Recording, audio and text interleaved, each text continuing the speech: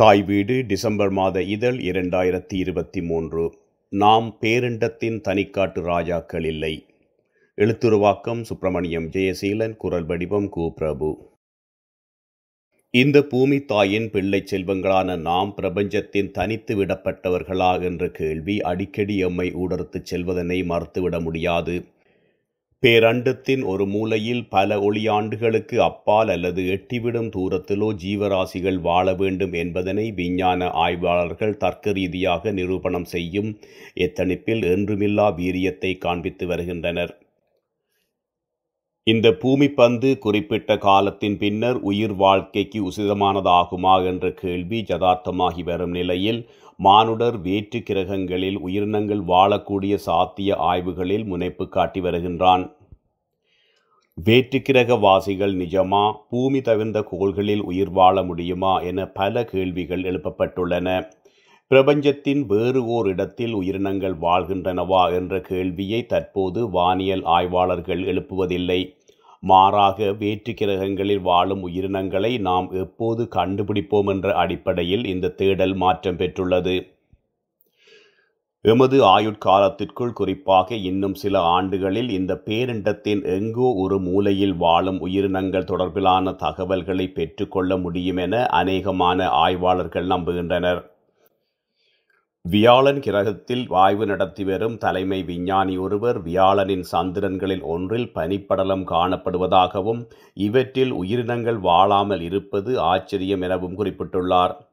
NASA விண்வெளி ஆய்வு மையத்தின் ஜேம்ஸ் வெப் விண்வெளி தொலைநோக்கி ஜேடபிள்யூஎஸ்டி வேற்றுக்கிரக வாசிகள் அல்லது ஞாயிற்று தொகுதிக்கு வெளியே காணப்படும் கிரகங்களில் உயிரினங்கள் வாழ்வது குறித்து சாதகமான அனுமானங்களை கண்டுபிடித்து வருகின்றது. ஜேம்ஸ் வெப் விண்வெளி தொலைநோக்கி பிரபஞ்சத்தின் வேறு இடங்களிலே உயிரினங்கள் வாழக்கூடிய கோள்கள் தொடர்பில் தீவிர கண்காணிப்பு மேற்கொண்டு வருகின்றது. தற்பொழுது நடைமுறையிலே உள்ள அல்லது ஆரம்பிக்க திட்டமிடப்பட்டுள்ள அதிக எண்ணிக்கையிலான ஆய்வுகள் பிரபஞ்சத்தில் உயிரினங்களை கொண்ட வேறு கோள்களை கண்டுபிடிப்பதனை அடிப்படையாக கொண்ட தீவிர முனைப்புகளாக காணப்படுகின்றன. விண்வெளி ஆய்வுத்துறையில் புதிய பரிமாணத்தை இந்த ஆய்வுகள் உருவாக்கியுள்ளதுடன் போட்டித்தன்மையையும் மேம்படுத்தியுள்ளது. நாம் வாழும் இந்த உலகமானது எண்ணிலடங்காத நட்சத்திரங்களையும் கோள்களையும் கொண்ட முடிவில்லாத பிரபஞ்சம் ஒன்றின் அங்கமாக காணப்படுகின்றது. இந்த பேரண்டத்தின் புத்தி சாதுரியமுடைய ஒரே உயிரினம் நாமாக மட்டும் இருக்கக்கூடிய வாய்ப்பு கிடையாது என்பது பல்வேறு ஆய்வாளர்களின் திடமான நம்பிக்கையாக காணப்படுகின்றது. இந்த பிரபஞ்சத்தில் தனித்து வாழ்கின்றோமா அல்லது வேறு உயிரினங்கள் உள்ளனவா என்பது பற்றி கண்டறிவது அல்லது இந்த கேள்விகளுக்கு விடை காணும் தொழில்நுட்பமும் இயலுமையும் தற்போது எம்மிடம் உண்டு என ஸ்காட்லாந்தின் ராயல் நட்சத்திர ஆய்வாளர் பேராசிரியர் கெதரின் ஹேம்ஸ் குறிப்பிடுகின்றார். கோல்ட் லாக்ஸ் வலயம். விண்வெளி தொலைக்காட்டிகள் மூலம் தொலைதூரத்திலே காணப்படும் ஞாயிற்று தொகுதிகளின் கோள்கள் அவற்றின் வளிமண்டலங்களை கூட ஆய்வுக்கு உட்படுத்த முடியும். கடந்த செப்டம்பர் மாத ஆரம்பத்தின் காலத்தில் அவ்வாறான ஒரு கண்டுபிடிப்பு பற்றிய ஒளிக்கீற்று பிரவாகித்தது. பூமிக்கு நிகரான சமுத்திர தொகுதியிலே உண்டாக்கப்படும் வாயுவின் சமிக்கையாக கருதப்படக்கூடிய ஒரு சமிக்கை கண்டறியப்பட்டுள்ளது. இது சுமார் நூற்றி இருபது ஒளியாண்டுகள் தூரத்திலே அமைந்துள்ள கே டூ எயிட்டீன் பி எனப்படும் கோளின் வளிமண்டலத்தில் காணப்படுவதாக கண்டறியப்பட்டுள்ளது. இந்த கோள் கோல்ட்லாக்ஸ் வலயத்தில் அமைந்துள்ளமை குறிப்பிடத்தக்கது.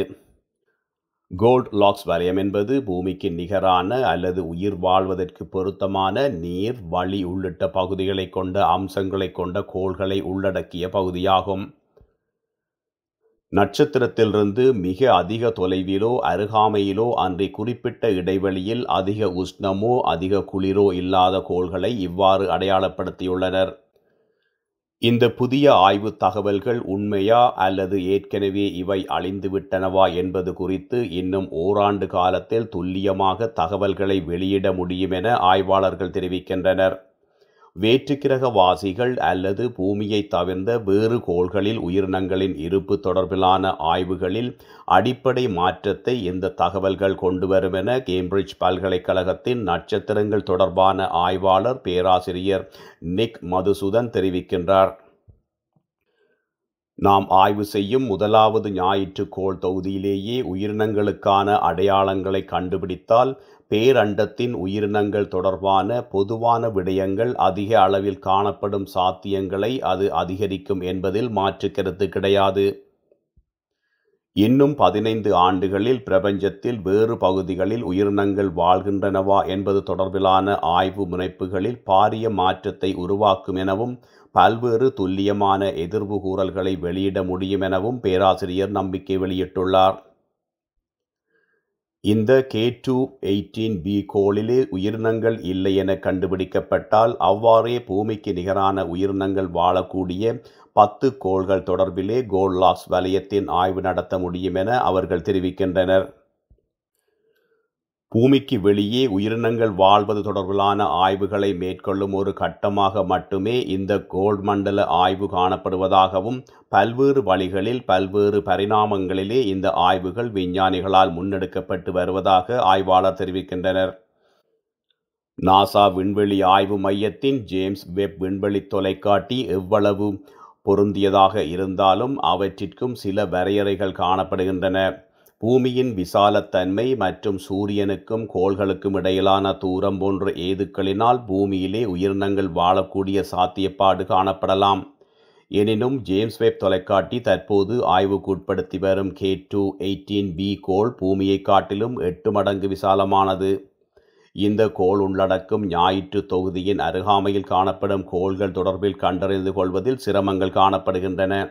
ஏனெனில் குறித்த கோள் மண்டலத்தின் அல்லது ஞாயிற்று தொகுதியின் பிரகாசம் அருகாமையிலே இருக்கின்ற கோள்களை பற்றி கண்டறிந்து கொள்வதற்கான வாய்ப்புகளை தவிர்ப்பதாக தெரிவிக்கப்படுகின்றது. எனவே நாசா விண்வெளி ஆய்வு மையமானது ஹேபிட்டபிள் வேர்ல்ட்ஸ் அப்சர்வேட்டரி ஹேபெக்ஸ் எனப்படும் பூமியை தவிர வேறு கிரகங்களில் உயிரின வாழ்த்தன்மை தொடர்பிலே ஆய்வுகளை முன்னெடுக்கப்பட்டுள்ளதாகவும் இரண்டாயிரத்தி முப்பதாம் ஆண்டுகளின் ஆரம்பத்தில் இந்த திட்டம் தொடங்கப்பட உள்ளதாகவும் ஆய்வாளர்கள் தெரிவிக்கின்றனர். இது அதிநவீன தொழில்நுட்பங்களை உள்ளடக்கிய ஒரு செயல்முறையாக அமையும் என நம்பிக்கை வெளியிடப்பட்டுள்ளது. சூரிய கிரகணங்களை உடர்த்துச் சென்று கோள்களை கண்டறிந்து அவற்றின் தன்மைகளை ஆய்வுக்குட்படுத்தக்கூடிய வகையிலான அதிநவீன தொழில்நுட்பம் பயன்படுத்தப்பட உள்ளதாக தெரிவிக்கின்றனர். பூமிக்கு நிகரான வளிமண்டல கட்டமைப்பை கொண்ட கோள்கள் காணப்படுவதனை உறுதி செய்து அவற்றை கூடுதல் அளவிலே ஆய்வுக்குட்படுத்தி சிறந்த பெறுபேறுகளை பெற்றுக்கொள்வதே எமது இலக்கு என ஆய்வாளர்கள் தெரிவிக்கின்றனர். எமது வளிமண்டலத்திற்கு நிகரான வளிமண்டலங்களை கொண்ட கோள்கள் தொடர்பிலான மாதிரிகளை ஒப்பீடு செய்து ஆய்வுக்கு உட்படுத்தும் ஒரு முனைப்பாக இந்த ஆய்வுகள் மேற்கொள்ளப்பட உள்ளன. சீலி பாலைவனத்திலே இருந்து தெளிவாக வானத்தை கண்காணிக்கக்கூடிய ஐரோப்பிய southern observatory extremely large telescope மிகவும் விசாலமான தொலைக்காட்டியாகும் இந்த தொலைக்காட்டி இந்த தசாப்தத்தின் இறுதி பகுதியின் கண்காணிப்பு நடவடிக்கைகளை ஆரம்பிக்கும் என எதிர்பார்க்கப்படுகின்றது. இதுவரையில் உருவாக்கப்பட்ட எந்த ஒரு தொலைக்காட்டியிலும் இல்லாத அளவிற்கு இந்த தொலைக்காட்டியின் விட்டம் முப்பத்தி ஒன்பது மீட்டர் அளவிலான அதிவிசாலமான ஒரு கருவியாகும். இதன் மூலம் கோள்களின் வளிமண்டலங்கள் தொடர்பிலே தெளிவான தகவல்களை பெற்றுக்கொள்ள முடியும் என ஆய்வாளர்கள் நம்பிக்கை வெளியிட்டுள்ளனர். சில நூற்றாண்டுகளாக ரசாயன விஞ்ஞானிகளால் பயன்படுத்தப்படும் ஒரு தொழில்நுட்பத்தை பயன்படுத்தி கோள்களினால் வெளியிடப்படும் ஒளியை பயன்படுத்தி அவற்றிலே காணப்படும் ரசாயன பதார்த்தங்களை இனங்காண முடியும் என ஆய்வாளர்கள் தெரிவிக்கின்றனர்.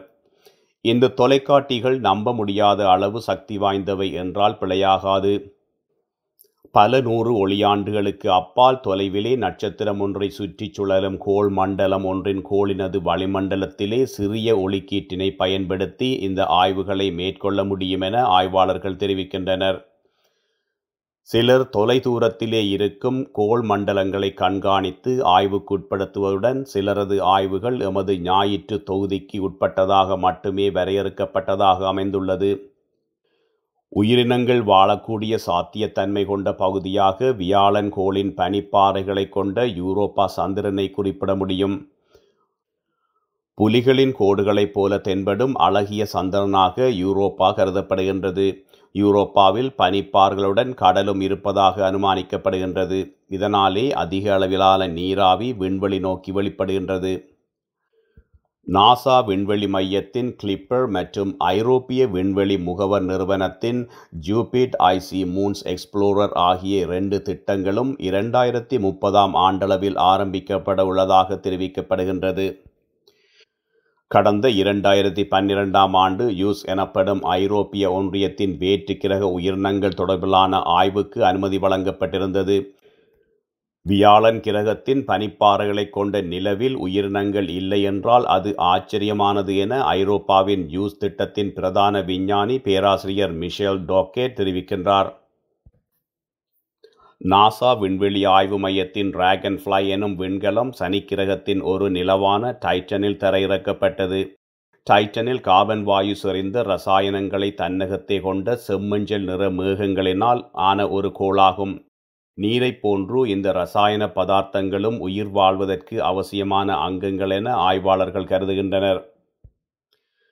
செவ்வாய் கிரகத்தில் தற்போது உயிரினங்கள் வாழ முடியாத சூழ்நிலை காணப்பட்டாலும் அந்த கிரகத்தில் நிச்சயமாக வளிமண்டலம் சமுத்திரங்கள் என்பன காணப்பட்டதாகவும் அவை உயிர் வாழ்க்கைக்கு தேவையானவை எனவும் சில காலங்களுக்கு முன்னர் இங்கே உயிர்கள் வாழ்ந்திருக்கக்கூடும் எனவும் நட்சத்திர உயிரியல் ஆய்வாளர்கள் நம்பிக்கை வெளியிட்டுள்ளனர்.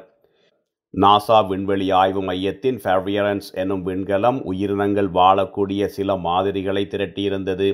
இரண்டாயிரத்தி முப்பதாம் ஆண்டுகளில் முன்னெடுக்கப்படவுள்ள புதிய ஆய்வுகளில் இந்த பாறை வகைகளை பூமிக்கு கொண்டு வந்து ஆய்வுகள் நடத்த திட்டமிடப்பட்டுள்ளது.